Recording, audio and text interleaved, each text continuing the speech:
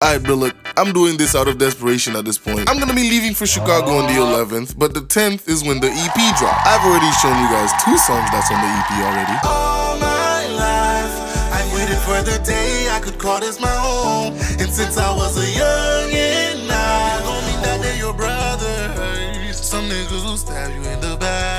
Racks me, 50 racks, homie, I'm a flex whip attack. I'm gonna be dropping the other two songs in between the release of the full EP. And please help a brother out by going to the description and clicking that link to pre-save the songs, guys. It helps so much when the EP finally drops. Omi is trying his hardest to get you guys Hate More Part 6 before the 10th. And yes, I pay him in breadcrumbs, of course. But yeah, he's working really hard to edit that video for me. And in the meantime, here's a compilation of my jumping videos. I already did this for Hate More Part 1 through 5, and it got copyrighted. But hopefully uh, this goes better than than that. Anywho, me rambling aside, grab some food or drink, sit back and enjoy, or you could put this in the background if you're busy. But either way, I present to you JP's jumping compilation.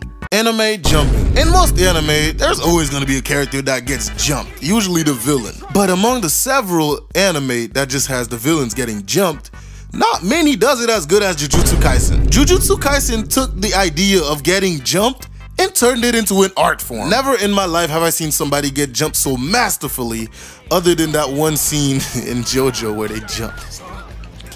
But Jujutsu Kaisen has mastered the art of getting jumped. Today, we're gonna be looking at two of my favorite jumpings of not just Jujutsu Kaisen, but an anime altogether. Mahito gets the two-piece combo. First of all, mm. how you gonna start the fight by getting your face discombobulated, bro? This is how we knew you was already about to get boxed up, bro, because th this is how the fight started, bro. You, he was flabbergasted too. My dog's like, hey, yo, what the fuck?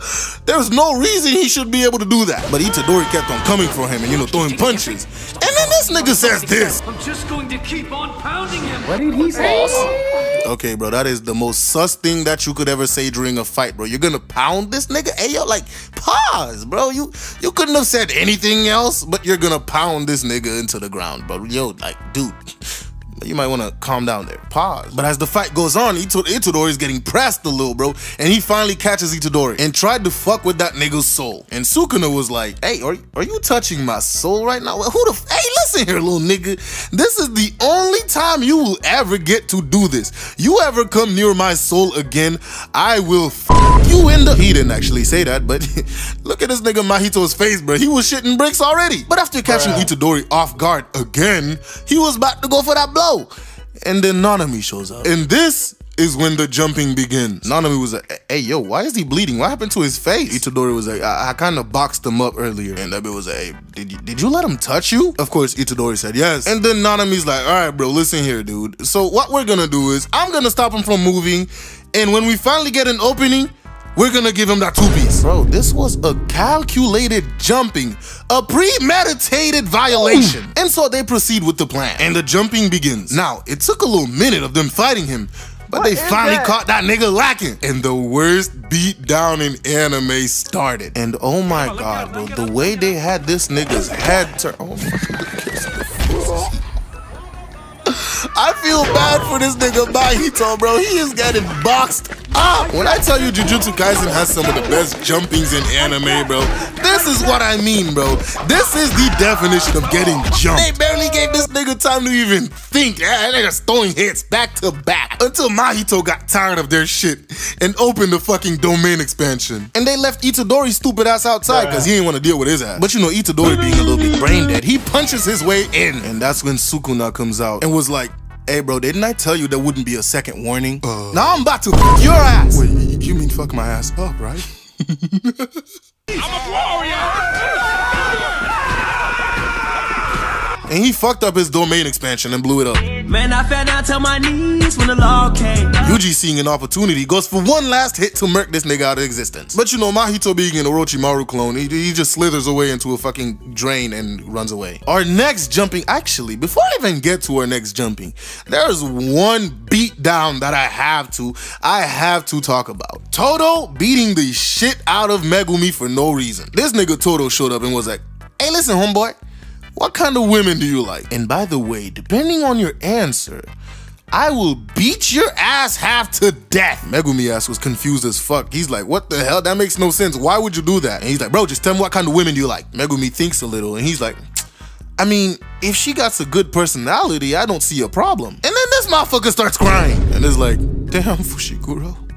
Your taste is trash! This nigga went on to give Fushiguro the worst beating of his life for not liking the same women as him. This nigga Todo is really something else. But that was just the appetizer to the main course meal, that is Hanami getting boxed up with the boogie woogie. Now before this fight, Todo and Itadori actually got into a little squabble themselves, and Todo asked him the same question he asked Megumi.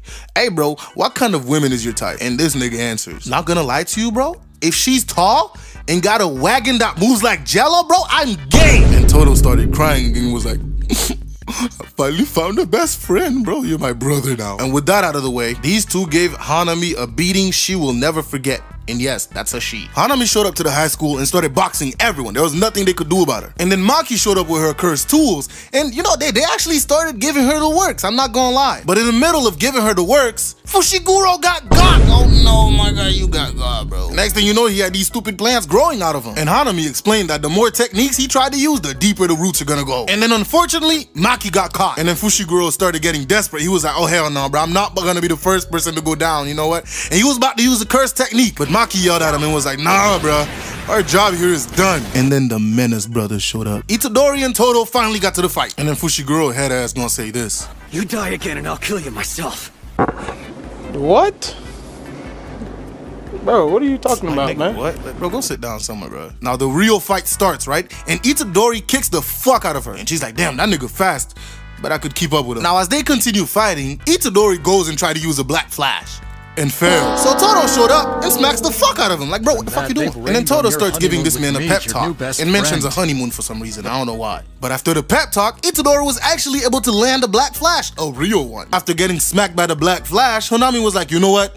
I should take you niggas seriously. And releases her other hand. And then they start throwing hands, but they was going dummy in that fight, bro. And Hanami was thinking, hey, yo, if they continue like this, they might actually be able to damage me. And this bitch removed the plants from under their feet. After landing on their asses, but they, they just continue going at it like nothing happened. And then this bitch Hanami starts having an orgasm, talking about some Mahito, I'm finally getting a good fight. Like, bro, what are you talking? Bro, calm down. It's just a fight. But as they're fighting, she throws this man Todo, and he was about to get impaled, but then he clapped. Hurt you? Nah, I'm just joking. He clapped and switched positions with her, and Yuji was flabbergasted, like, hey yo, what the fuck? And then we get to the boogie woogie beatdown. They started jumping Hanami and wasn't giving her a chance to do anything. Todo was clapping and switching positions with Yuji all over the place. She didn't know who was coming to hit her or who's gonna teleport. She was just getting smacked. While she's sitting there getting the paws put on her by this boogie woogie, this man starts styling on her. Bro, this nigga was literally striking poses as he clapped. I knew characters could get disrespectful in anime, but bro, this is another level. To be styling on your opponent as you guys are jumping her and striking poses for the gram. That is wild. Like, bro, it didn't matter what she did, bro. She was just getting boxed. And this right here, ladies and gentlemen, this is the face you make when you are getting your ass thoroughly jumped. I hate when I'm watching shonen, bro, and the main character will be getting pieced up by the villain, right? And the side characters are just sitting there giving reactions instead of helping. Uh, uh, uh. Seven of y'all standing there. Go jump this nigga, bro. Like stop standing around looking. Jujutsu Kaisen saw that trope and was like, nah, we not doing that, nigga. You getting jumped. You come on our turf and try to do some shit, bro. You getting your ass pieced up by everyone. They have no qualms about jumping your ass. But after that, Todo switched Itadori with the cursed tools that was left in the previous fight. And Hanami got some quick PTSD from when Maki was piecing her up with the tool. So she goes to open a domain expansion. But you know the light-skinned god himself, Gojo, was not about to let that slide. He breaks the barrier that was trying to keep him out and showed his beautiful ass eyes. now who getting rizzed up first? He teleports to the weird butcher dude and turn his limbs into Twizzlers by just looking at him. And then this nigga uses hollow purple and just ends the whole fight. So yeah, Jujutsu Kaisen honestly has some of the best jumpings in anime. Cause these sorcerers give no fucks, bro. They're gonna jump you. And honest to God, I cannot wait to see who gets the next jumping in JJK. Alright, so my JJK jumpings video is well on its way to reaching 500,000 views. Thank you guys very much for supporting. I never thought I'd be reaching that many views. But in the comments of that video, a lot of you are like, Oh my god, where's Miguel versus Gojo? Where's Gojo beating up Miguel? uh, Miguel versus Gojo is not a jumping. It was just a one-sided beatdown. That's why I didn't put it in the JJK jumpings video. But you guys in the comments really wanted me to talk about this fight, so you guys asked and you shall receive. Today we're gonna be talking about how Gojo completely violated Miguel. So we start this with Miguel saying he's gonna take on the one with the blindfold referring to Gojo. And the girl is like, oh, hey, bro, one last reminder. And Miguel is like, yeah, yeah, I know, we're just supposed to be stalling. This nigga Miguel pulls up trying to be a fake ass light skin and is like, hola, my friend, let me introduce myself. My name is Miguel, and I'll be your opponent. And Gojo, always the one to show off his eyes, is like, listen here, nigga, I'm in a hurry. While Gojo's trying to show off his beautiful eyes, this Where the Wild Things Are cast member wannabe started coming around the corner, looking like a giant piece of shit. Gojo don't even look at this nigga and is like, hey, bro, you're in the way. And one shot him. After the smoke clears, Miguel is on his ass. The girls ask Miguel what the fuck he's doing here, and he's like, bitch, what it look like, bro? I'm getting my ass beat. But Gojo, not wanting to give this nigga not even a moment of rest, is standing behind him like, you're a tenacious one. And then Miguel starts thinking to himself, I got like 12 minutes before this perk runs out, bro. Like, I need to make this nigga pack. And then he lunges at Gojo and attacks this man. But Gojo being the Riz god, he just flicks it away. After swatting away the rope, right, Gojo's like, hey, yo, bro, something's wrong with that fucking rope. It has an unusual curse on it. It keeps disrupting my fucking techniques. And before I even continue with this fight, bro, somebody needs to be fired. Because there's no way you make a black character and decided, mm, yeah, bro, this nigga needs to use a whip as a, as a weapon. And then have said nigga with the whip get styled on by Gojo. Without even trying. And I don't care if he calls that shit a rope, bro. That's a weird. I swear, bro, that has to be racist. But moving on, Miguel starts thinking, damn, so this is the power of limitless that Geto told me about, huh? And then he starts glazing the world. Tell me, my friend, how many decades do you think it took the people in my country to make this rope? And Gojo's like, I don't give a fuck. Miguel. So Miguel got offended and decided to throw a fucking AC unit at this nigga. But that shit just exploded on impact, cause again, Gojo has limitless. And then they start boxing. But I don't know how much of this was boxing, cause Gojo was just beating on this man, giving this nigga combos back to back. And then Miguel finally starts fighting back, but you know, that wasn't doing much. Gojo was literally hitting him with the footworks, bro. This nigga was dancing. Like, bro, look at his moves. Look at the turns. But yeah, they keep fighting, and this nigga Miguel decided to cosplay Spider-Man for a quick second and tried to run away, but nah, Gojo teleported right in front of his ass and grabbed him by the throat and threw this nigga to the floor Ain't like no he was Tom way, Brady bro. on some shit. While Why Miguel ain't was no- on the floor rolling, Gojo goes to attack. But then this big ass cursed spirit decided to show up and threw a punch, but Gojo, you know, he, he teleports out of the way. After that nigga missed, he started sliding down the building. And then Gojo came back with a vengeance to punch this nigga Miguel. This man Miguel was so flabbergasted, he was like, wow! After he falls on the floor, Miguel starts running like, damn nigga, I gotta get out of here. And tries to be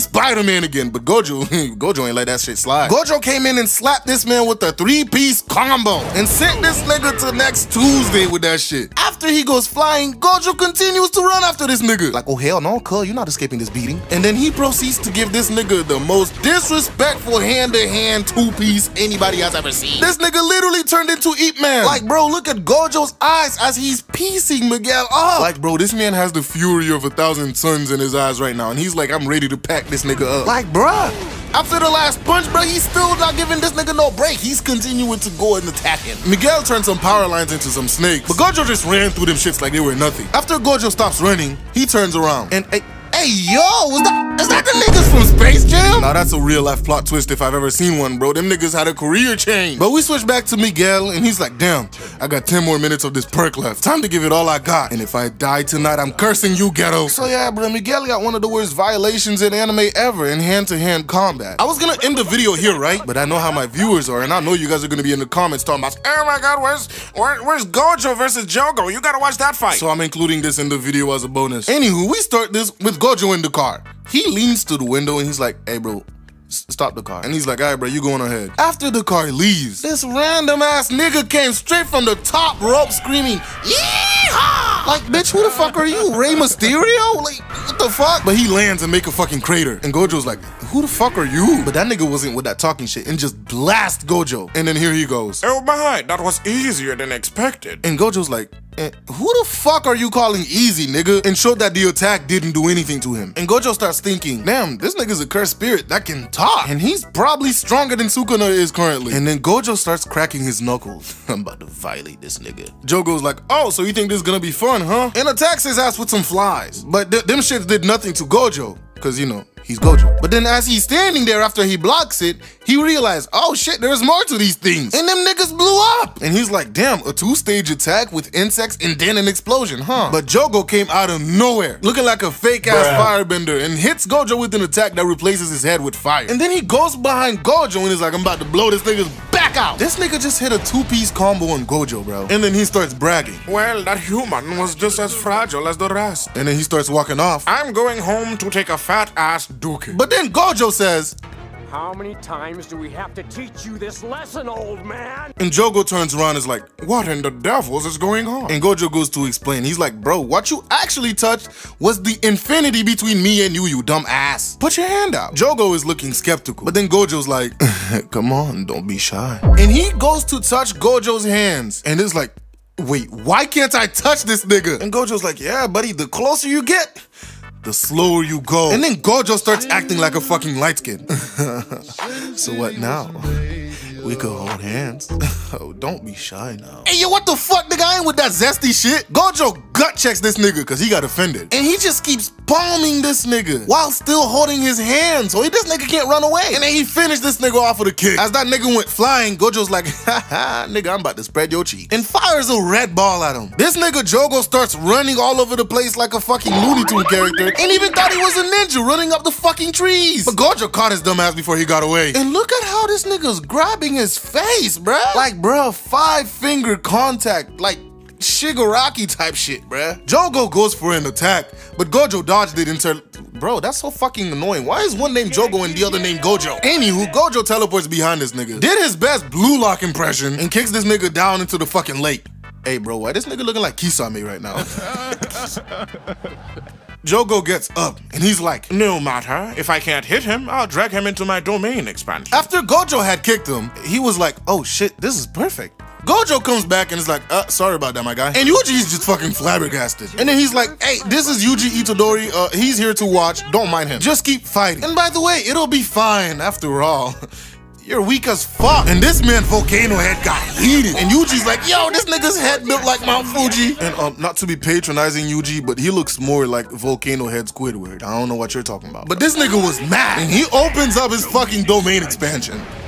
He's like, I'm about to cook you niggas alive. He took their ass to Volcano Land. He calls it Coffin of the Iron Mountain, but but I- think Volcano Land is much better. And Gojo's like, this right here is a domain expansion, and the best way to deal with the domain expansion is to lay out your own domain. And this, ladies and gentlemen, is where we see Gojo's beautiful eyes. And he opens up Infinite Void. This nigga Jogo was literally flabbergasted. There was he was just astonished. For those of you who knows what Infinite Void does, that's great. But Gojo pulls up and grabs this nigga's head like he was palming a fucking basketball. And it's like, this is the inner world of Limitless. And it's like, it's a bit ironic, isn't it?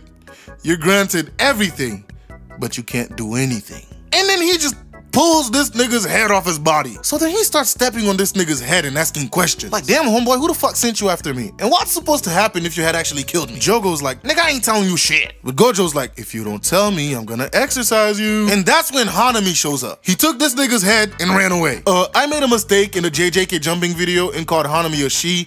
Guys, Hanami is a is a is a male, apparently. Anywho, after Hanami leaves, Gojo says this. Got away. He's way more impressive than Volcano Head. So yeah, bro, Gojo's one of the most disrespectful niggas in anime, and is offering the two piece to anyone who decides to get in his way. Alright, bro, look. So about a week ago, I decided to upload JJK Jumpings Part Two, and five hours later, yeah, it got copyrighted. So I went back and edited as much as I can to make sure it can't be copyrighted again. I uploaded it, and it was doing fine. 72k views, and five days later,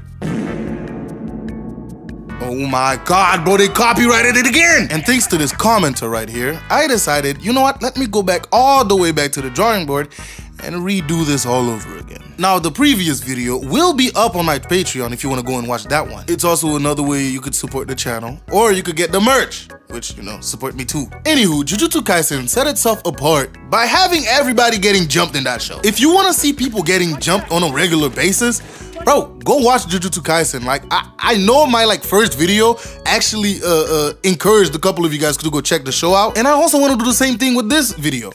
So yeah, go watch Jujutsu Kaisen if you want to see some niggas get jumped. Anywho, Jujutsu Kaisen came back with an absolute vengeance when it comes to people getting jumped. And this video will include Toji running everyone's pockets, so I don't have a million of you saying, Oh my god, JP, what, you, why aren't you talking about Toji versus Gojo? Or Toji versus Geto? Uh, uh, bro, it's gonna include the, the, it's in the video, calm down. Anywho, we start this off with Gojo taking a back shot. Everyone is flabbergasted, like, what the fuck just happened? Gojo turns around and is like, have we met before? And Toji's like, I cannot help you with that, my boy. I do not even know the name of my own son. But it's even worse, especially since you were light skinned. Anywho, they both attack him and send his ass flying. Gojo tells Geto to take his parachute pants wearing ass and, and Amanai and go to Tengen so they could complete the ritual while he takes care of Toji. Toji burst out of the cursed spirit that attacked him.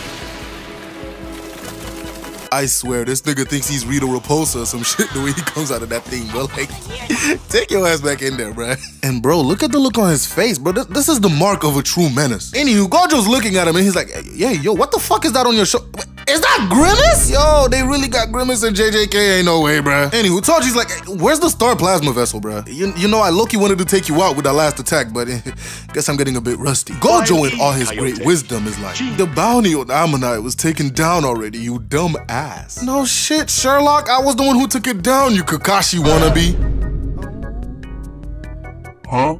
Don't worry, it'll make sense in a couple of episodes. Either way, Gojo did not like being called a wannabe of any kind and launches a boulder at him. But Toji slashes that bitch with speed and precision. And Gojo's like, bro, something's off about this nigga. Hey, yo, those are Johnny Test Smarty Pants, you fucking thief! So you're telling me this nigga went and stole Grimace and Johnny Test Smarty Pants? Bro, we need to put this man down, bro. What the fuck? And before I even move on, bro, you see how he slid that sword in the thing's mouth? Like he's used to this, bro. You weird. Like, bro, what else you be sliding in there like that? Oh, you, hey, bro, we need to stop this man, dog. Anywho, Toji starts bouncing around like he was on crack. And then he finally goes in for an attack, but Gojo saw it coming and sent his ass flying through several buildings. And bro, he's smiling as he got hit. On God, bro, we need to arrest this man. What the fuck is wrong with him? Anywho, after he lands, Gojo walks up being a pompous asshat and is like, is that cursed tool your precious trump card?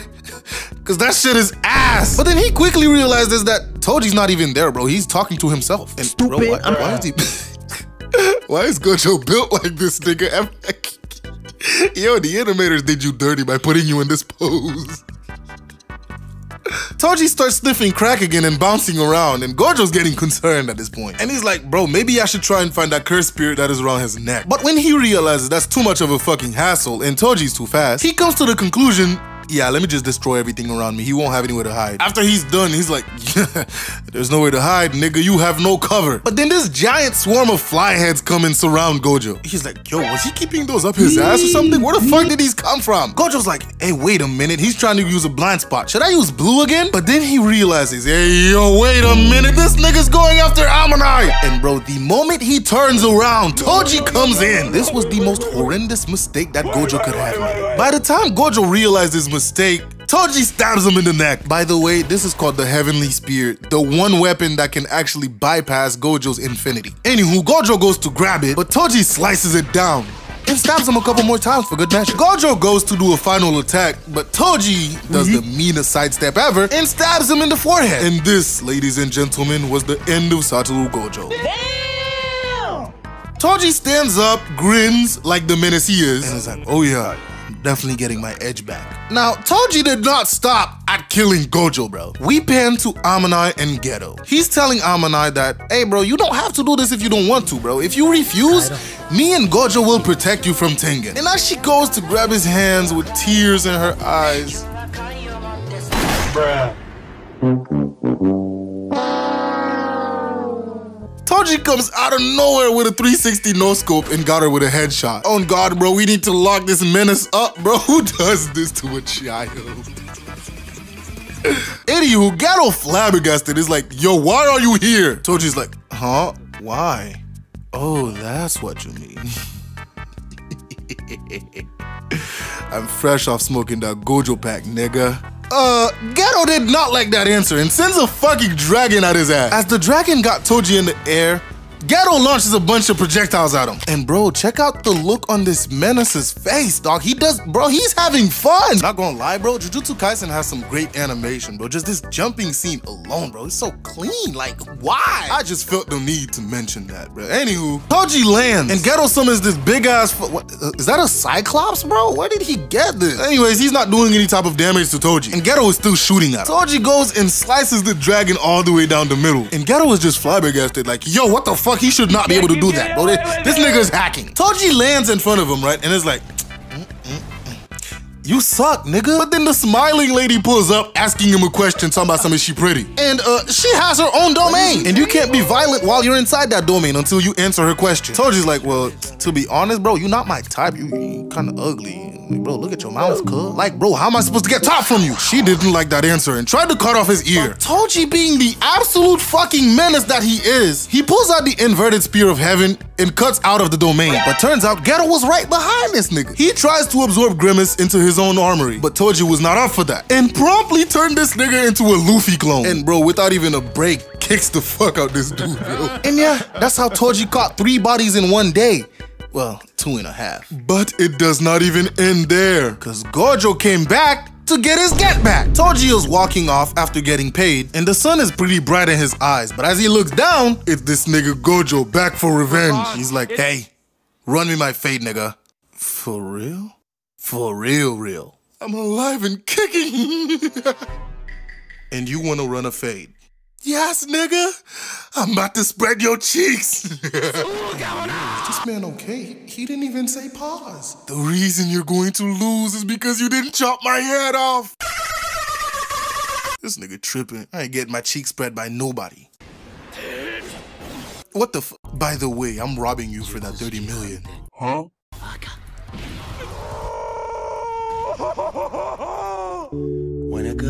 When a good thing goes bad, it's Toji looks up, and Gojo's just floating there like some weirdo. Like, bro, what part of The Exorcist is this? Wait a minute, hey, yo, he bumping that UJP. Yes, sir. Go listen to the music, or Gojo will float to your house. Anywho, Toji gets up and starts stretching like, damn, bro, I need to go back to Pilates, not gonna lie. He pulls out a chain and attaches it to the inverted spear of heaven and starts spinning it. And then he starts grinning like a menace as usual. Like, bro, Toji is the definition of somebody who just likes to run fade. Like the type of nigga who will get in fights for no reason, bro. Just, just because he wants to fight. Anywho, Gojo notices him, and Toji's like, bro, something's off. But he blows it off and launches an attack. Gojo, having awakened his light skin energy at this point, dodges the fuck out of him. And even when he redirects that bitch, he dodges it. Like, bro, Gojo currently is higher than a kite. This nigga is on cloud 50, dog. And then this man starts getting enlightened, and he's like, sorry, Amanai. I'm not even angry about you. I bear no grudge against anyone. It's just that I'm off of perk 90 right now and I'm not trying to come down. And then he finally says the line Throughout heaven and earth, I alone am the fraudulent one. If you know, you know. But Toji don't give a fuck and he's just mad that Gojo's being a light skin right now. He launches a bunch of rocks at him, but they all just stop when they get near him. And bro, look at Toji, dog. He is so mad right now. So he goes to launch an attack from behind. And then Gojo proceeds to stop time somehow. I, I don't know how he does it. After everything slowed down around him, he uses the hollow purple.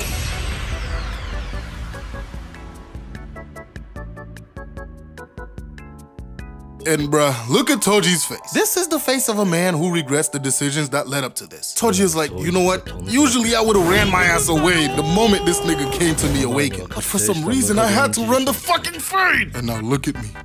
I'm not even a donut. And as we pan out to see what Toji looks like after the attack, he looks like Rolf. If you guys haven't seen Ed, Edd n Eddy, the big picture show, Rolf was running around the movie with half of his body bitten off. this is literally Toji right now. Anywho, Toji goes to pass his hands to feel his left side, but again, there's nothing there. He's like, he's a literal Apple logo. And in his final moments, he remembers his son. So yeah, Gojo actually managed to get his get back. But moving on, we fast forward to the future, where these three stooges thought it would be a good idea to jump Gojo. I bet you guys didn't think I would include this reverse jumping in there too, huh? Anywho, Volcano head Jogo, Hanami, and Choso shows up to jump Gojo. They proceed to block all exits. And Gojo's like, bro, I, I told y'all niggas I wasn't gonna run, bro. I'm running y'all fade. And bro, look at these three stooges right here. Jogo looks like he is way too happy to be here. Like, bro, he already took him L once and decided to come back for more. Anywho, they open the door and people start falling on the train tracks. And bro, pause right here. Tell me that's not Android 18. She is literally dressed as Android 18. she just need the blonde hair and she'll be good. Anyways, Hanami and Jogo goes for an attack, and on their way they just start murking humans. And I swear, bro, every time I look at this man Jogo, I am prompted to laugh. The faces he makes, bro. Anyways, Choso launches an attack with blood, but as we all expected, it doesn't really do anything to Gojo. But after the attack ends, right, that's when Hanami and Jogo comes in for a punch. And bro, why are they so happy right now, dog? Look at their faces, man. Like, bro, this is the face of people that are so mad that they got jumped. They finally ready to get their get back, bro. it's so happy. Anywho, they punch him, but as usual, they can't get through uh, infinity. Even when they surround their fist with a simple domain. So they amplify the domain. And as Gojo's in the middle, he thinks for a second and just decides to fly up, hoping that they hit each other. Anywho, after Jogo killed somebody, right? Gojo takes his blindfold off and is showing off his beautiful eyes. Gojo's like, hey, you there, the weed. This is the third time we've met and you still decide to underestimate the fuck out of me. So now I am going to fuck you up. And he's like, let the reverse jumping begin. Bring it on. So he walks up to them Hey, I walk around like that nigga. and both of them go and try to punch him. But he grabs Jogo's arm and, bro, this whole fight, man just toyed with Jogo, bro. He pulls off this nigga's arm and blocks Hanami's punch with it. And Hanami's like, bro, he's only targeting Jogo. And so Hanami thinks that Gojo was capping out his ass earlier when he said that he would kill him first. Foreshadowing? Anywho, he tosses Jogo, and bro, this nigga starts running for his life, dog. Hanami decides, you know what? It's a great idea to unleash my technique right now since he's focusing on Jogo. And this is exactly what Gojo was waiting for, because now her domain is dismissed. And bro, look at the look on his face. He is ready to run his pockets. Gojo flies right up to him and grab the horns on his face, right? And yoinks them bitches out. Bro, I really hope YouTube doesn't censor me for this or something, because bruh. This is just brutal. Anywho, after all that, Gojo goes to attack Jogo. Wait, what? No. Jogo goes to attack Gojo. Oh my fucking god. This is why I didn't like talking about that Gojo versus Jogo fight, because it's annoying to say. Anywho, the punch doesn't land because infinity. While he's still punching, Gojo says this. Bro really called Hanami an asparagus. Bro, this nigga is disrespectful as fuck. Anywho, Gojo turns towards Hanami and starts working towards him. And using his technique as a fucking force field since it's so strong, starts pushing him into the wall. And on God, bro, Gojo is enjoying himself way too much, bro. You're looking more and more like Toji every day. Like, bro, that Toji fight did something to you. and it's not good for Hanami. Anywho, he goes right up to Hanami's face and is just staring at him. While he's doing that, this nigga Jogo tries to threaten him by showing he's gonna cook all the humans there. But uh, Gojo could give less of a fuck and proceeds to murk Hanami. Man, I fell down to my knees when the law came. Pop goes the weasel.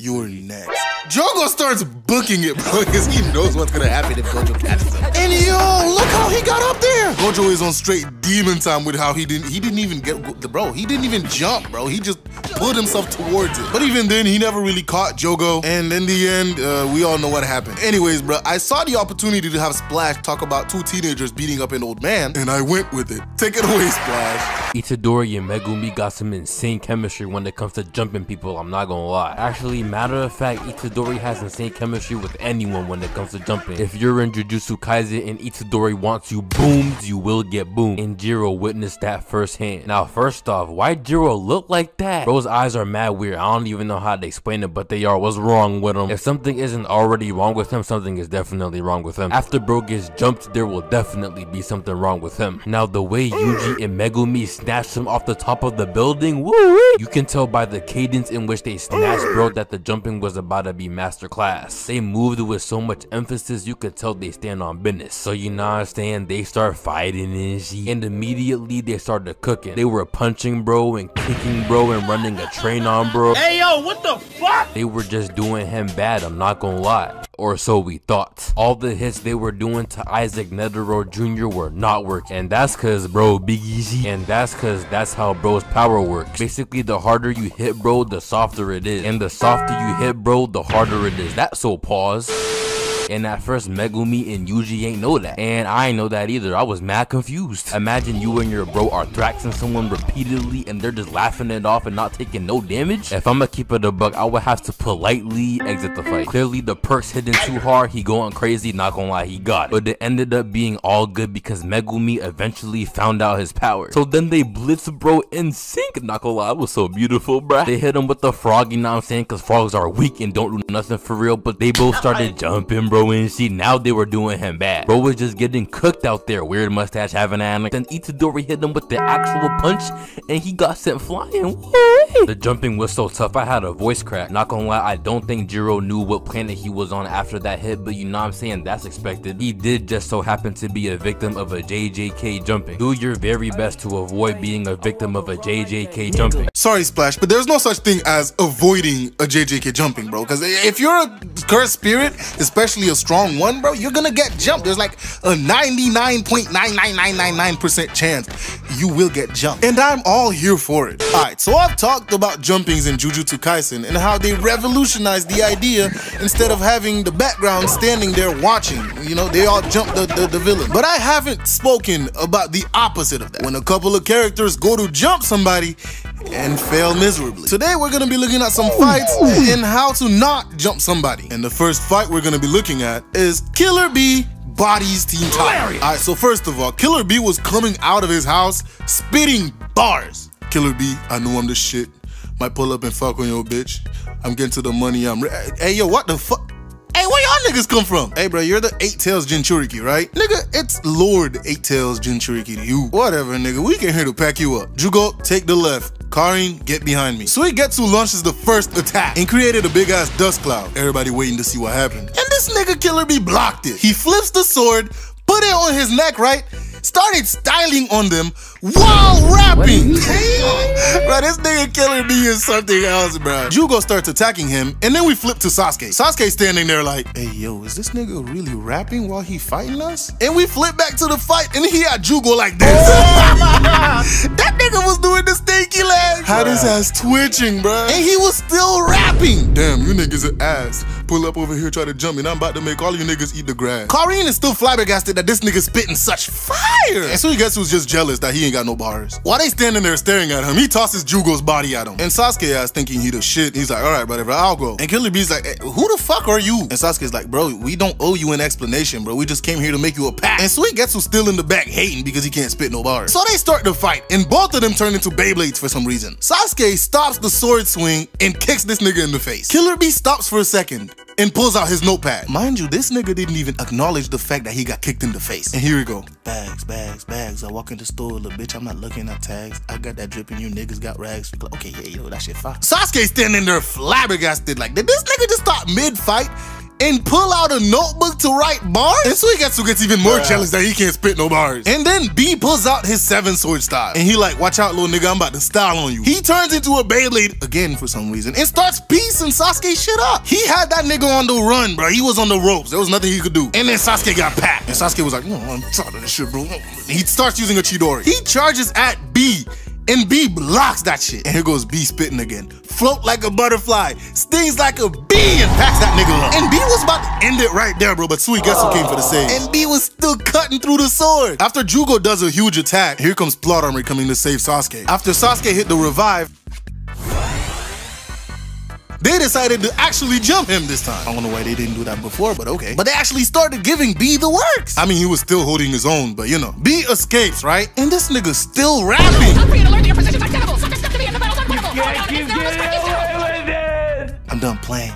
I'm about to pack these niggas up then go home and fill up my cup. Yeah. But Karin, being an Uzumaki, spots his ass. And he was like, damn, all right, whatever, let's take it to the next level. He uses his chakra cloak and comes at Sasuke with the lariat. Sasuke was like, oh hell no, nigga, I'm gonna die if this man hits me. He uses his Mangekyo Sharingan to put him in a Genjutsu. And B falls to the floor. Everybody sighs. And then out of nowhere, this nigga gets smacked with the lariat. he thought he escaped, but nah, B came back for round two. He crushed that nigga's throat. Sasuke was like, but you know, Sasuke got you know walking plot armor with them, and they they they, they saved them. But B was like, you know what? I'm just gonna end this shit right now, bro. He, he transforms into Gyuki. And he's Oh my god. Suigetsu gets him to the water and tried to fight him. But Gyuki packed him up with a tail beast bomb. And they turned his bro, what is that? Oh my god, bro. That nigga turned his ass into a slide. At this point, Team Taka was like, hey yo, what the fuck are we gonna do, bro? This nigga about to pack our shit up. While they having their little moment, B is still in the back being a crackhead. Right as he's about to pack their shit up for real. Here comes Sasuke with the Amaterasu.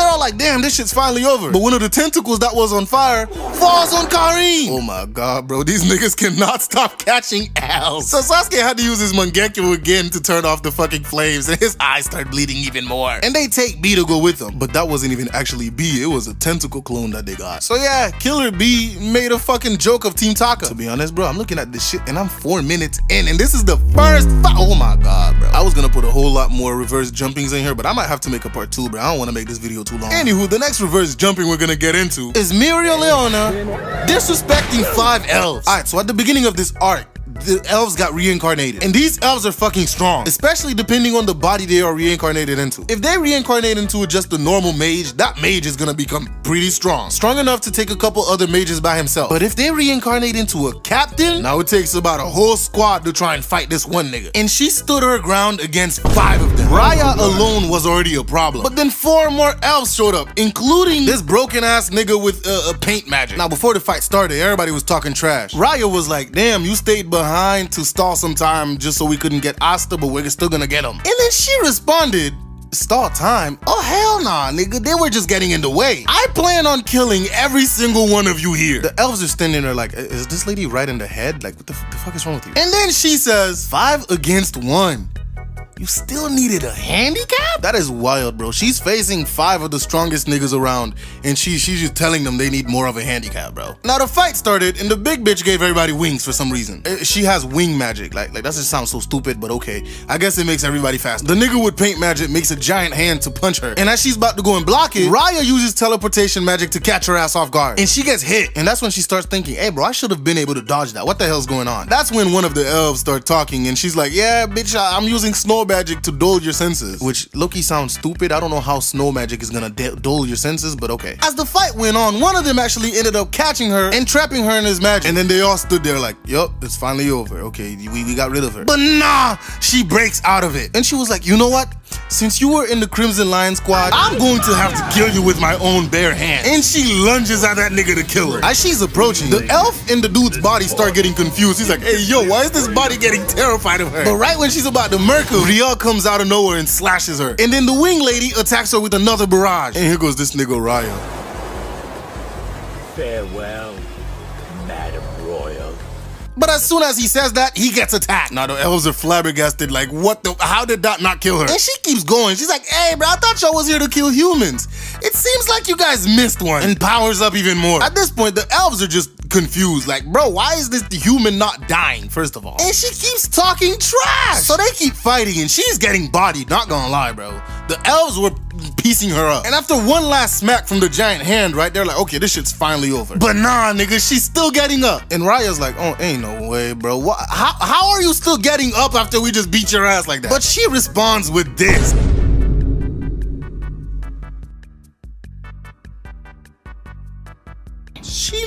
Said she's not gonna die until she kills every single one of them. But Raya was like, look, bro, just stop, dude. This is over. And then she goes, oh yeah, it's over, all right. After I use my strongest attack, all of you niggas gonna die.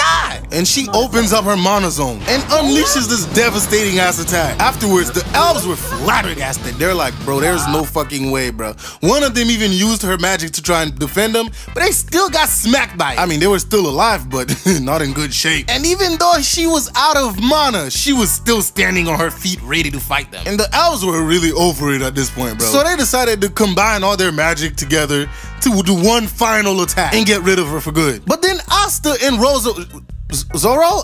Wait, Liz, I don't I don't remember this nigga's name for real. Alright, I just checked and his name's Zora. But yeah, he came and absorbed the attack into a spell that doubles its power. And then he fires it at Asta. Raya's like, hey yo, did he just fire that shit at his own comrade? But Asta smacks that bitch like he was trying out for some Major League Baseball and doubles its power again. But the elves really didn't know this. But after Zora tried to absorb the attack again, his spell starts cracking. He's like, damn, I can't hold this much power. And Asta comes again and smacks the fuck out of it, which I think just increased its power six and blast that shit at the L. It was definitely over after they got smacked by that shit. After that, them niggas took Muriel Mereoleona and ran away because they were not staying to find out if that shit actually worked or not. There are a lot of anime women that I like, but hey, Mereoleona's in the top 10 easy. Now, before I get to Madara disrespecting the Shinobi Alliance in the 5 Kage, I have a bonus reverse jumping from a little show known as Fairy Tail. Now, this was Natsu and Gajeel versus the, the Twin Dragons, Sting and Rogue. Now, keep in mind that this was supposed to be a 2 on 2. Now, before the fight started, bro, them niggas was talking mad trash. Listen here, you nigglets.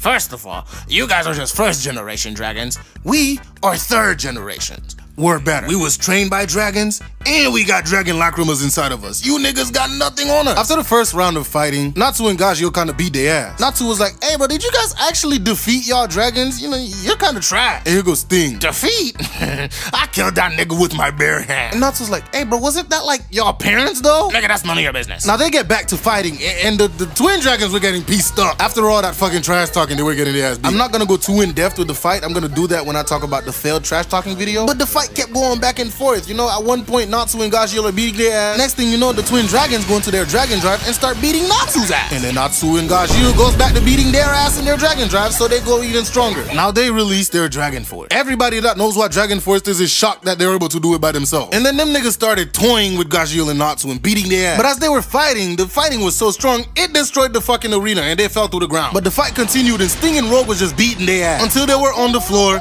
and everybody was worried about it. They even thought them niggas was dead. But nah. Natsu gets up and starts talking. And he's like, hey, bro, I done learned everything I can about you niggas now. I know how your attack goes, when you defend, and even what position your foot faces when you're about to attack. And he's like, it's around 11 o'clock. But Gajeel's like, nah, nigga, it's 10. And they start arguing. In the middle of arguing, Natsu pushes this nigga into a rail car and make it go off. Now, mind you, Dragon Slayers have terrible motion sickness, so Gajeel's not getting out of this anytime soon. And then he turns around and is like, all right, I gotta pay you niggas back. Y'all was looking down on me? Now I'm gonna style on you niggas. Bring it on. And he actually starts beating their ass. This was a 2 on 2, and Natsu turned it into a reverse jumping. This nigga Natsu was giving them the ones back to back, and they could do nothing, even though they were in their dragon force. Bro, he was beating them so bad that their cats was crying. Oh my god, bro. What kind of savage do you have to be to do that? But as the fight goes on, Sting and Rogue were like, okay, you know what? We're just gonna use our strongest attack and finish you off. And they started using their unison raid. Now, as they're using this unison raid, bro, the, the announcers, they're hyping that shit up, bro. They're like, oh man, this is the strongest attack you could possibly attain as a fucking mage. Looks like a unison raid. It's what you might call fusion magic. It's generally considered to be such an advanced technique that you could spend your entire life training and never master it. They really said you could train your whole life and never master this. But then they launched that bitch at Natsu, and Natsu with a single attack overpowers their fucking unison raid. So yeah, Natsu's kind of a menace. But now that we're done with this little detour, we finally go to Madara disrespecting the Shinobi Alliance and the five Kage in a reverse jumping. Madara stands there, look at about 3,000 niggas ready to piece him up. And he jumps down and started running towards them. No hesitation whatsoever, bro. This man gets into the crowd and people starts flying like helicopters, bro. And he's doing all this with just taijutsu. Like, bro, could you imagine how strong of a human you have to be to punch somebody like in the air that high? And back to back with multiple niggas. And this nigga's eyes are moving with his Sharingan. And this is Loki my favorite scene in Naruto, bro. Because it truly shows what a Sharingan user would be like during a fucking fight like this. It really shows how much they can perceive in a matter of seconds. He grabs a random sword and starts slicing and dicing. And this one nigga gonna throw a kunai with a bomb attached to it. He rips the paper bomb off, sticks it to a random dude, and throws the kunai right back to the dude. Turned around, kicked the bomb. He really kicked this man to his comrade so he could blow up. Bro, oh god, Madara is something else, bro. Bro, he's sitting there piecing niggas up, and then some random dude tried to come from underground. This nigga jumps, channels his inner Jean Claude Van Damme, and kicks two other random niggas. And then stomps on this nigga's head. it's like every single one of this nigga's actions are just calculated. Well, I mean, when you have the Sharingan, you you have the time to do that. But bro, he's fighting, and then he just grabs this random nigga and starts strangling him with one hand. And he's like, damn, nigga, you wanna dance too? Bet that out. And then here comes Temari with her big ass fan. And then she says this. Do not underestimate me. Nigga, Madara don't even know you exist. The fuck are you talking about underestimate, bro? Madara uses one fire style, and it is the biggest out of the whole series we've ever seen. It takes like seven niggas using water style to try and stop it. And that barely did anything, cause fireballs was still raining. It was dusty as fuck, but that, that wasn't stopping Madara not one bit. Bro, this nigga's fighting a whole army by himself. Gaara, Onoki, and Naruto doesn't attack, and they thought they had him, but nah. This nigga busts out his Susanoo, pulls out four chakra blades, and started making waves with body. Gaara manages to pull this nigga out of his Susanoo. And Naruto uses a Rasen Shuriken to try and kill him. But shit, this nigga pulls out his Rinnegan and stops it. And everybody was just flabbergasted, like, ain't no way this nigga has a Rinnegan. Bro pulls out his Susanoo again, and this is when he disrespects, you know, everybody in the fucking show. He does a hand seal. And everybody who is looking up is like, yo, we lost this. Who, who decided it was a good idea to fight this nigga? Look at this dude's face, bro. He's just ready to go home to his wife and kids. Madara pulls a fucking meteor towards them. But you know, we all know what happens next. Onoki and Gaara does their hardest and manages to stop the meteor. And every shinobi in the alliance fell to the floor in relief, like, oh my god, I can finally go back to my wife. And Madara's like, oh hell no, nigga, you're not going back to your wife. What are you gonna do about the second one, Onoki? And yeah, it just devastates the whole shinobi alliance. After that, all five Kage decided to show up. Tsunade's like, hey bro, I need to heal these two. Can you guys buy me some time? Mai starts spitting her nasty ass mucus, and the third Raikage was just going dummy with his lightning style. And was surprised at how fast this nigga Madara was. After hitting Madara, Gaara uses a Grand Sand Mausoleum to try and, you know, seal his Susanoo. But he busts out of that shit. After that, Mai uses some steam to try and cover the battlefield. Which makes no sense to me since this nigga has a Rinnegan, bro. He can see. As the mist spread, what a tongue twister. The Raikage teleports to move and sends this nigga flying. he turned this nigga into Team Rocket. But after that, he goes to Madara since Inoki's on his back, making him heavier and lighter whenever he needs. And punches this nigga Susanoo. And Madara's flabbergasted because, yo, this nigga's breaking my Susanoo. After buying themselves a couple of seconds, Tsunade went to give the Naruto clone a little pep talk and a message to take back to Naruto. they really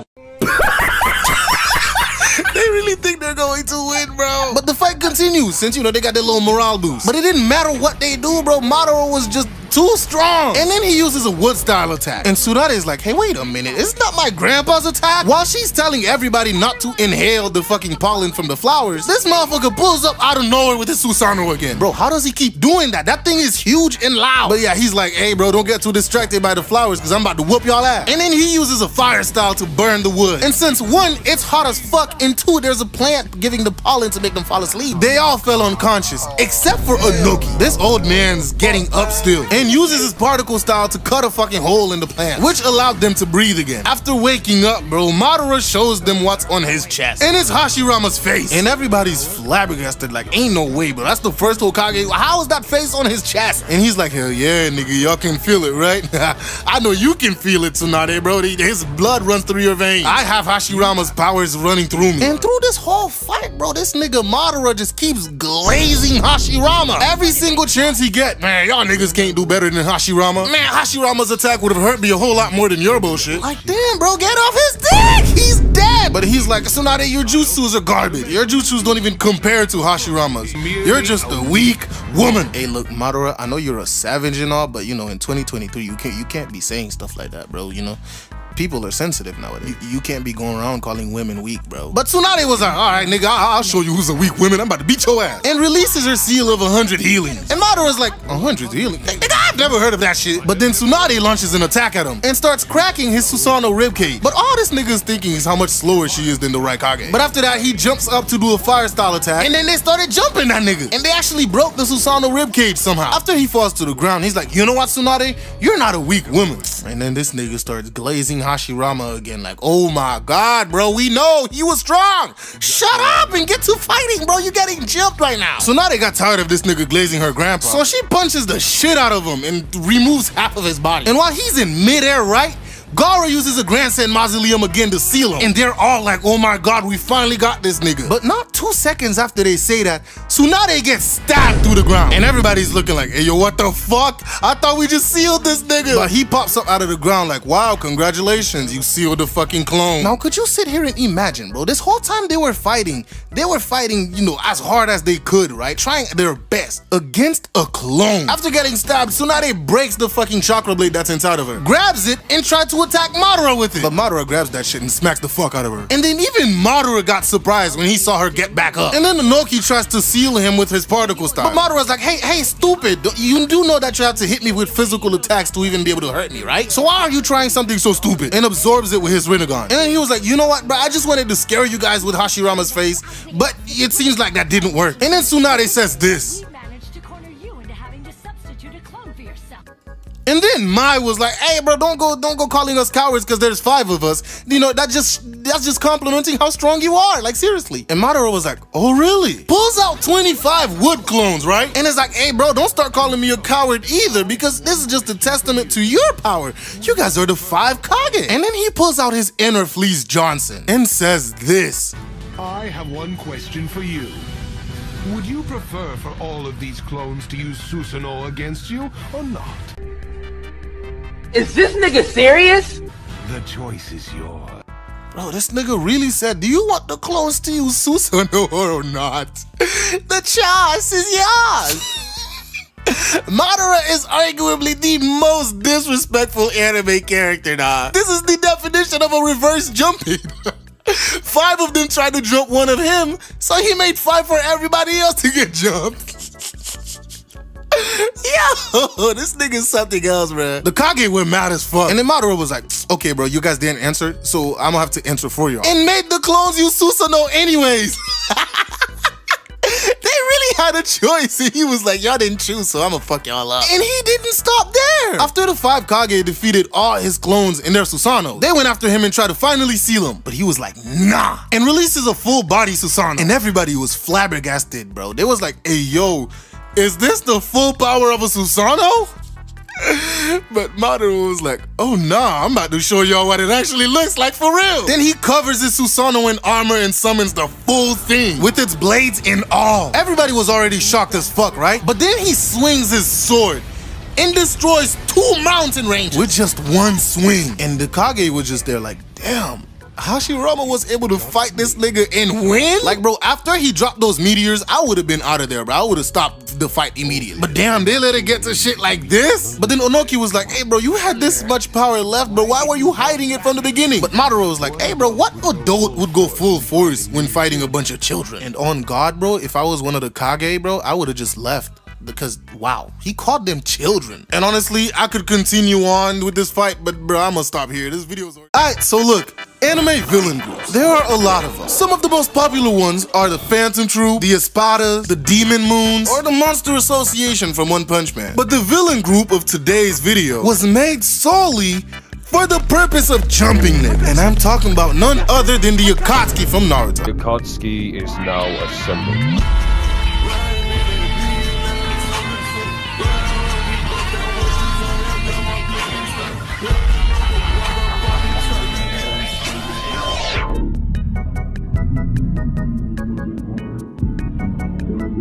I swear, bro, when they decided to invent the Akatsuki, they, they just had the purpose of jumping people, especially the tailed beast, Bruh. which is what we're gonna be talking about today. The Akatsuki just jumping every single tailed beast, excluding Naruto and B, because them niggas actually put a reverse jumping on them. The Akatsuki travels in teams of two, like I said, for the sole purpose of jumping niggas. And Pain is even worse. He pulls up with five other niggas to jump you. And before I even get to how Sasori and Deidara jumped Gaara, I have to pay tribute to the OG that is Jiraiya, because what they did to this man was dirty. Anywho, we start out this. Oh my god, bro. Is this nigga coming out of the frog's mouth? Nasty bitch. what the mouth do? Stop it. Get some help. Anyways, he's like, infiltration complete. But yo, that was way too fucking easy, bro. It's a trap.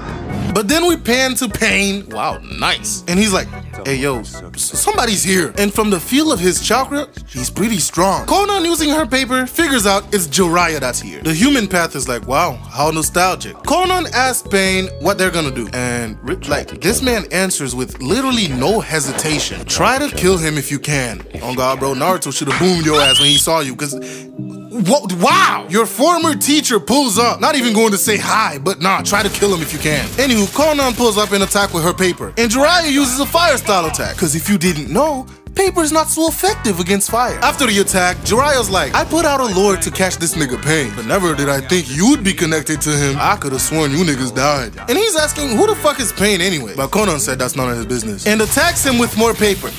Why? Why? I mean, that's the only thing she has, but still. Why? He has fire style. Like anybody could predict.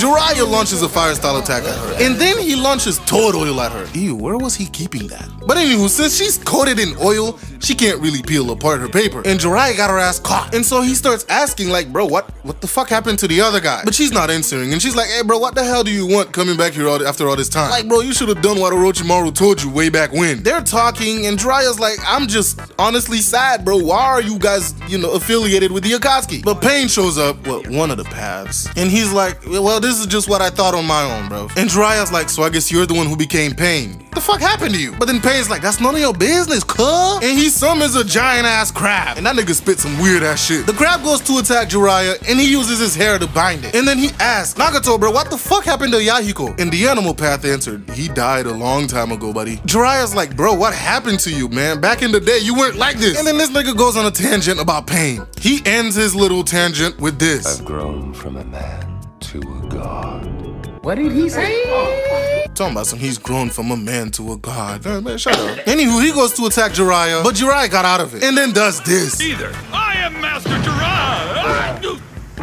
If only this nigga knew what happens later in this fight, he wouldn't be acting like this. So yeah, Jiraiya summoned one of his toads. Jiraiya goes and say he's gonna try to enter Sage Mode, but he needs some time to actually summon Ma and Pa. While he's getting ready, the chameleon disappears. He opens up a barrier that can sense anything that enters through it, but the animal path just send a three-headed dog after his ass. The toad stops the attack, but nah, the dog splits into two others. So now this one toad is running the ones with three dogs. Like bro, even their summonings are into jumping people. Like bro, the Akatsuki was literally just made for jumping niggas. No matter how many times the toad hits them with attacks, they keep splitting up until it became this fucking abomination. Oh, Jiraiya's like, bro, we need to get the fuck out of here. And goes to leave. hell out of As they're trying to escape, the dogs end up surrounding them. And then they go for an attack. But the toad weaves that shit and jumps into the air. And they finally manage to escape, but that didn't last long because the dog found them already. Jiraiya goes to attack the dogs, but after he's done, Gamaken got got. Oh no, Gamaken got got. That's the name of the toad, by the way. But then Jiraiya does this. Well, I give up. Uhum.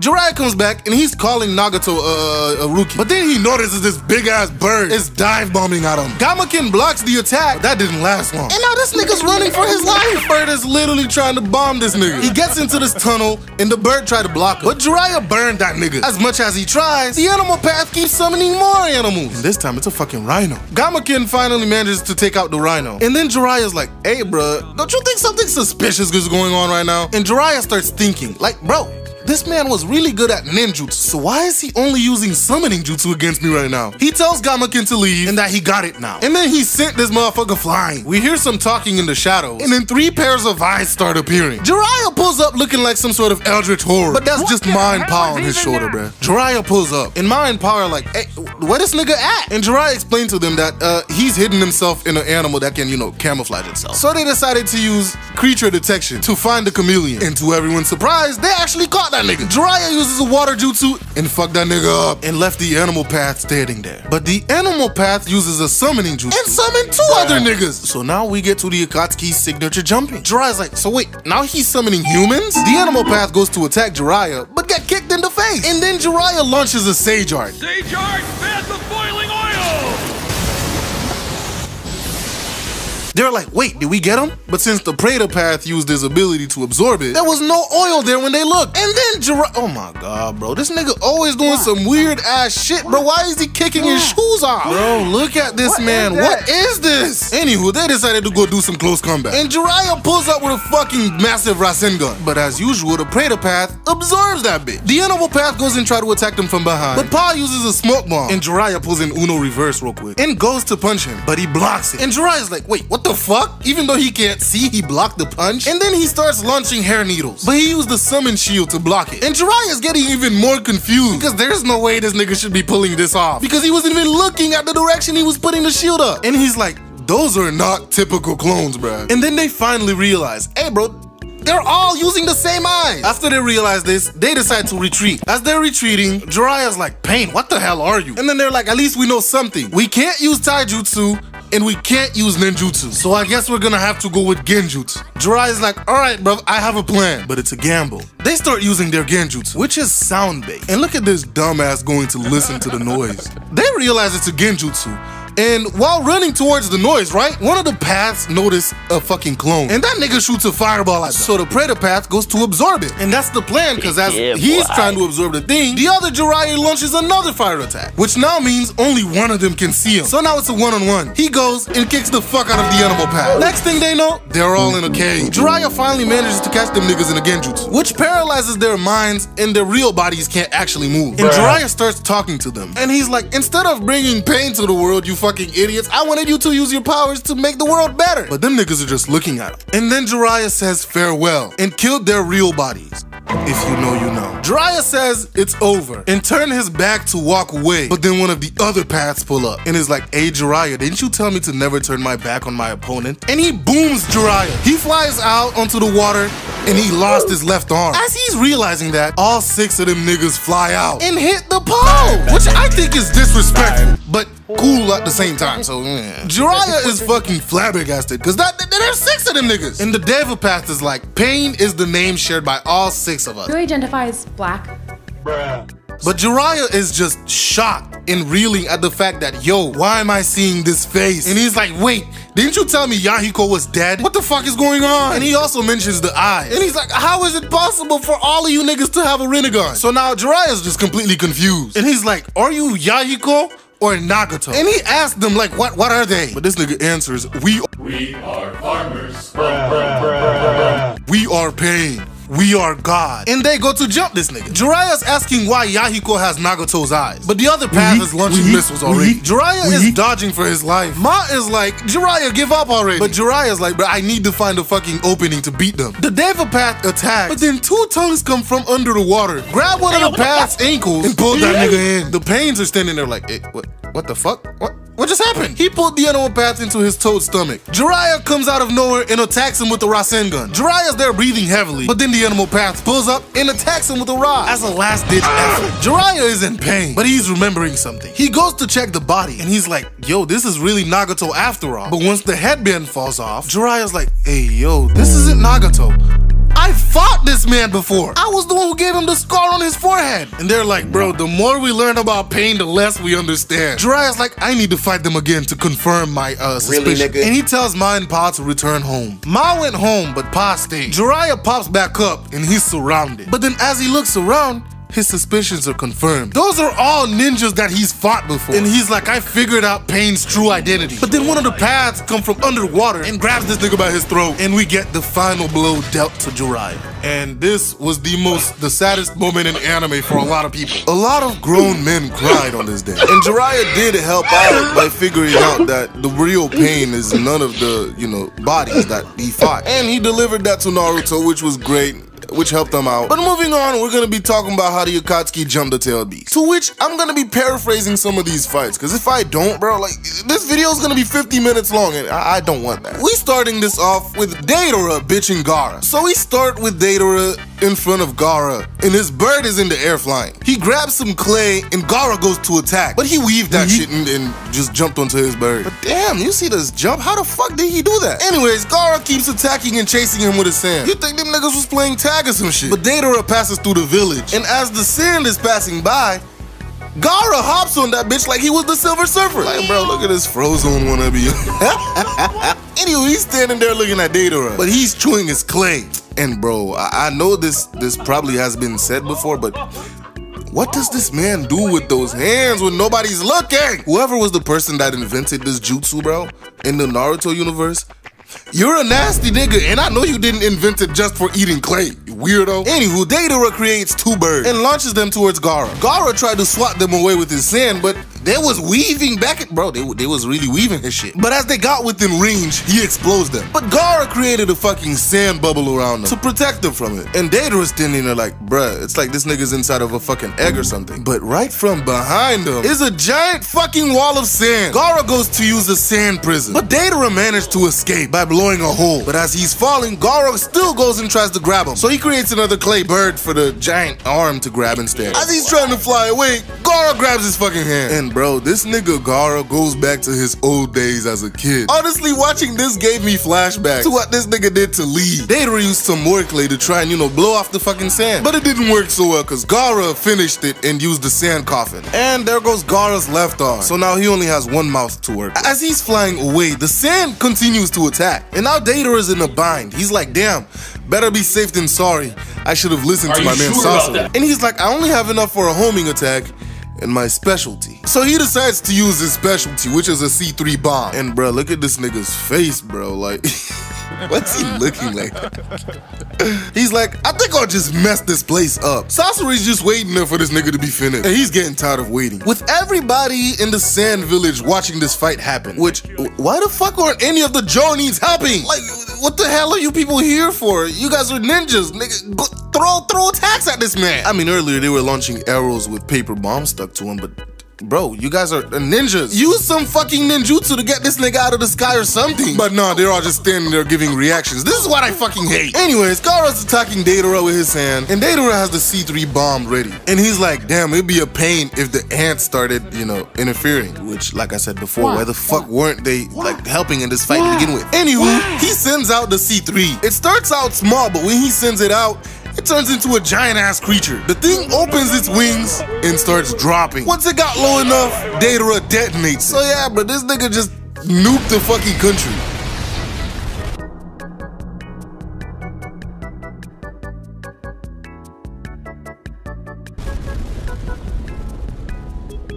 But Gaara used all of the sand he could muster and managed to actually block the explosion. They're floating there, Deidara on his bird, and Gaara in his sand bubble. And Deidara's like, now you're in range. And he explodes one of the small explosive birds that he had sent to Gaara. Gaara shuts himself in the bubble completely, but Deidara's like, that's exactly what I was waiting for. And that's when Gaara realized something is tunneling through his sand. And it's a bunch of tiny clay creatures. And Deidara's like, fart!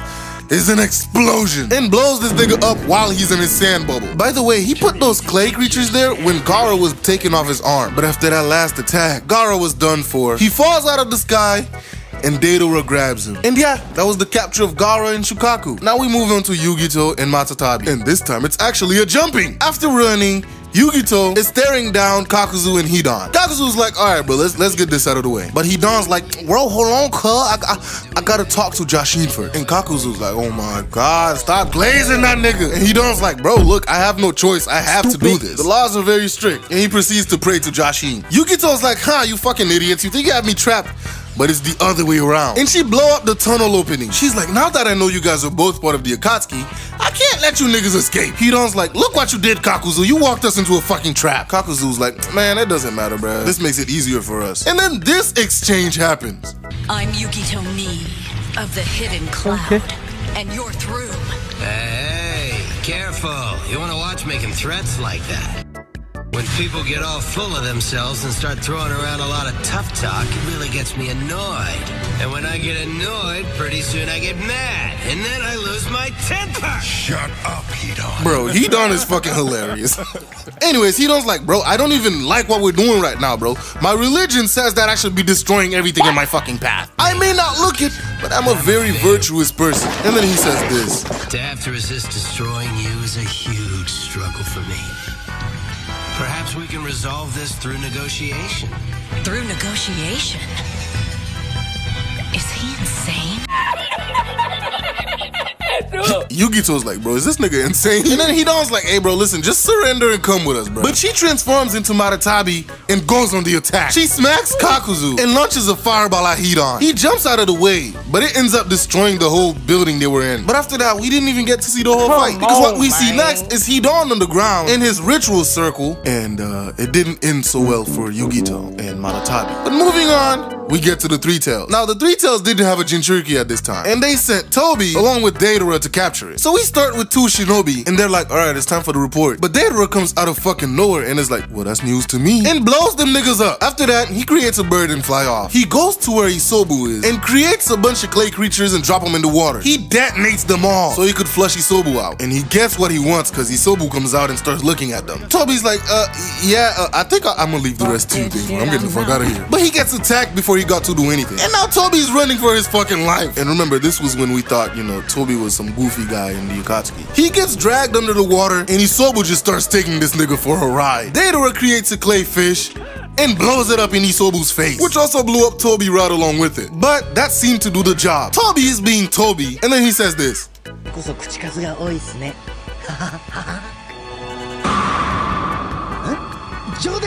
So Data blows his ass up again. And then they just drag Isobu along with them because they capture him. Next, we move on to the Foretail, which is assigned to Kisame and Itachi, to which any other tailed beast aside from Gyuki and fucking Kurama should be light work to these two. Anyways, we pan to Itachi sitting on the edge of a cliff with his Mangekyo activated. And then we pan to Roshi facing off with Kisame. They start running towards each other. Roshi uses a corrosion style jutsu and launches scorching rocks. Kisame blocks it. Roshi's like, alright, well, I guess I'm gonna have to step this up. And goes into his chakra cloak. So Kisame uses a fucking water style and creates a fucking tsunami out of like, what is this? But he's just like, man, I wish you'd just allow yourself to be captured without all this fuss, man. They launch at each other. It creates a bunch of steam. But as the steam clears, Kisame walks out and he's like, You finally settled down. And after a flash of lightning, we see the result. And yeah, it didn't end very well for Roshi. Uh, he took a L. Because Kisame was the perfect match for Roshi, Itachi didn't have to do shit. Anyways, we don't know how the Five Tails was captured, and they didn't show how it happened. So we're just gonna move on to the Six Tails. And this, ladies and gentlemen, is a true jumping in all its glory. Hey, bro, you know what I just realized?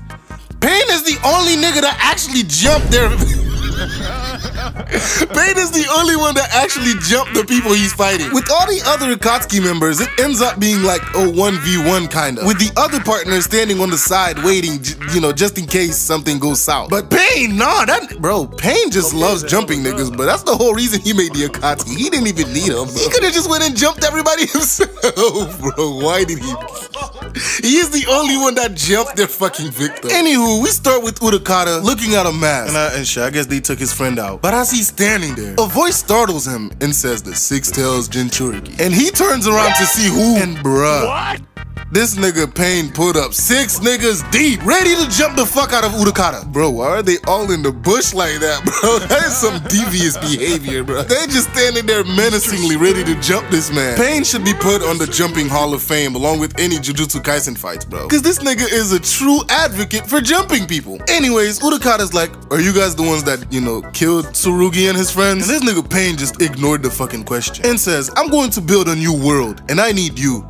Well, not actually, nah. I, I need the tail beast that's inside of me. And then he's like, now, Six Tails, your ass is mine. Launch some rockets after him, and Utakata starts running. And bro, these niggas do not care about the environment, bro. Look at these explosions. Utakata's on the floor, but these niggas are just pulling up. He screams and transforms into his five-tail version. And Pain is like, ah yes, there it is.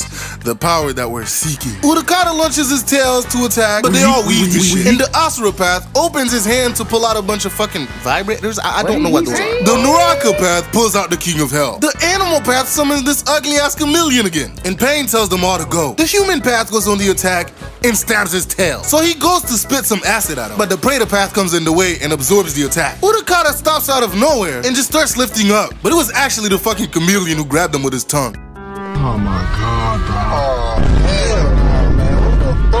And Pain is like, Six Tail is ours. But after he said that, Utakata transforms into his Six Tails version. He slips out of the chameleon's tongue and launches at the Preta and Human Path. And he actually got their ass real good. But as he's about to launch another attack, the chameleon launches his tongue. He slithers up the chameleon's tongue, wraps around it, and burns that shit with acid. And that made the summoning go away.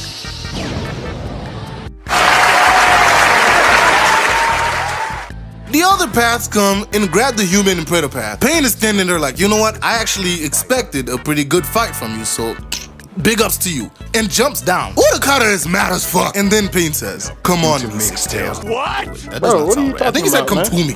And, and so the Six Tails came. But he used the fucking almighty push and blew that nigga away. Utakata flies into some trees and seconds later starts launching tree trunks at Pain. But he blocks them all. As he's finishing blocking, Utakata launches at him. He jumps in the air and throws some rods at his tail and binds them on the ground. Utakata starts charging up and getting mad. But let's not forget, Pain has a fucking entourage of niggas waiting to jump him. And so he gets bombarded by fucking missiles. And then the Asura path opens up his fucking head and bro, is that a fucking orbital cannon or something? What the hell? Anyways, that nigga blows up as usual, not giving a fuck about the environment. After the flash clears, we see a spiral of smoke. And yeah, that was the end of Utakata. Like I said at the beginning of the video, I'm not gonna be talking about B and Naruto, cause one, I already about I already about? I already talked about Team Taka and how they got their ass beat by Killer B. And then the next reverse jumping video, I'm talking about how Naruto put a reverse Uno on Pain. So yeah, the Akatsuki were literally just made to jump niggas, with Nagato slash Pain being the main instigator. Rarely do we see an anime villain group just made solely for the purpose of jumping niggas. And of course, the Akatsuki is one of the most famous villain groups around, and they definitely fulfilled their purpose. Bye.